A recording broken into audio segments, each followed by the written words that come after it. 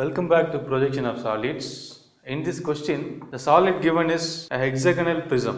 A hexagonal prism is resting on HP with one of its rectangular faces. So it is like this and the axis is inclined at 30 degree to VP. So this is the orientation.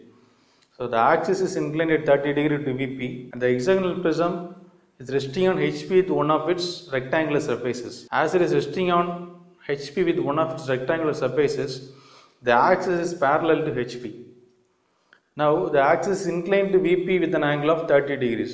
So the first step in the simple projection, we have to make the inclination as perpendicular.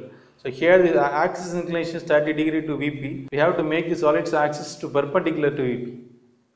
So now we have to decide which one is the base view and which one is the lateral view.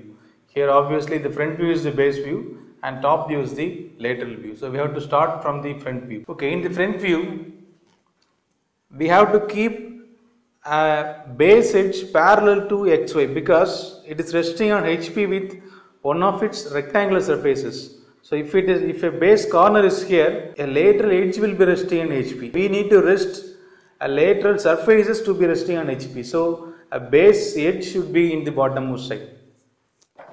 So we have to draw like this. Let us name all of its corners. As it is positioned like this, there will be a front face and a rear face. Let us name the front face as ABCD and the rear face as 1, 2, 3, 4.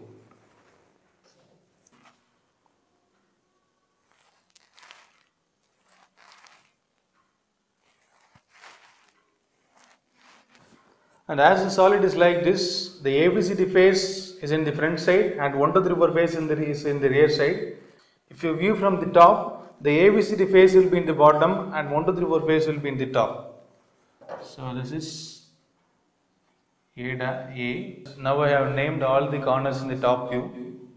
And then we have to include the inclination of the axis. Actually the axis is inclined at 30 degree to VP. So we have to add that inclination. We have to draw a 30 degree line here.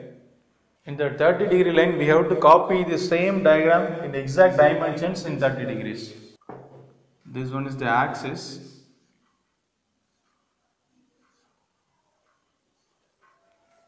Now I have named all the points in the second view.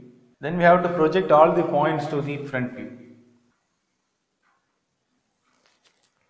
Then let us mark all the points in the front view. This line corresponds to points F, E, 5 and 6. So, the points F is here, point E is here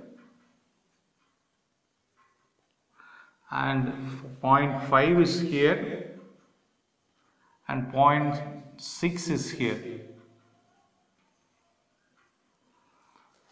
Then this line corresponds to the point 1, 4, D and A. Point 1 is here, point 4 is here, point A is here and point D is here. The baseline corresponds to the points B, C 2 and 3. So B is here, C is here, 2 is here, 3 is here. So the next step is darkening all the outermost edges.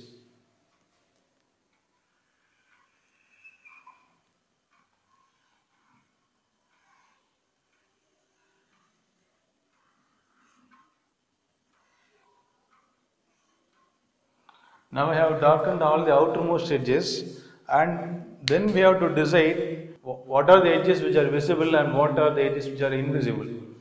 So this is front view, this is top view. When you view from the front, the ABCD face will be surely visible and 1 2 3 4 face will be surely invisible. So we have to draw the ABCD face with visible edges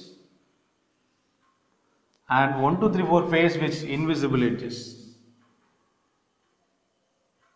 right so when you view from the front the first edge which is visible is 1a that is surely visible and the last edge which is in the interior is 4D that is surely invisible.